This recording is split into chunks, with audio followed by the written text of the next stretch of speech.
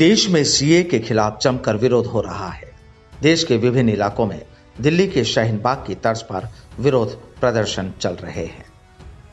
CAA के खिलाफ केरल और पंजाब सरकार के बाद राजस्थान ने विधानसभा में प्रस्ताव पास कर दिया है।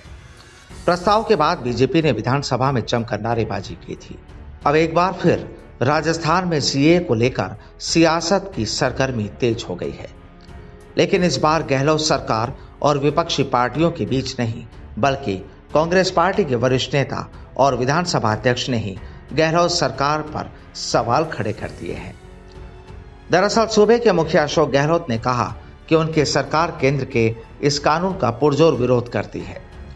जानकारी के लिए बता दें कि सीए और एनआरसी के खिलाफ गहलोत सरकार ने विभिन्न समुदायों के साथ शांति मार्च निकालकर ऐलान किया है। कि राज्य में सी और एनआरसी को लागू नहीं किया जाएगा।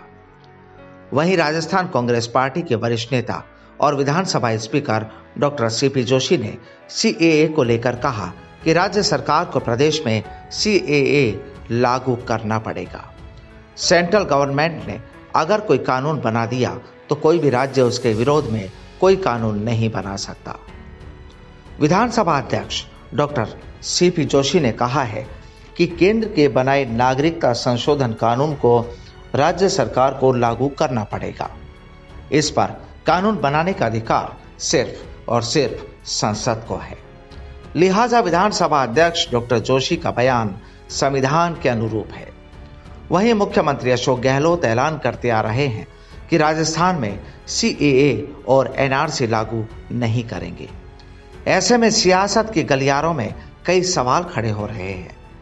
क्या सीपी जोशी अपने पार्टी आला कमान और सूबे के मुखिया के खिलाफ अपनी आवाज़ बुलंद कर रहे हैं?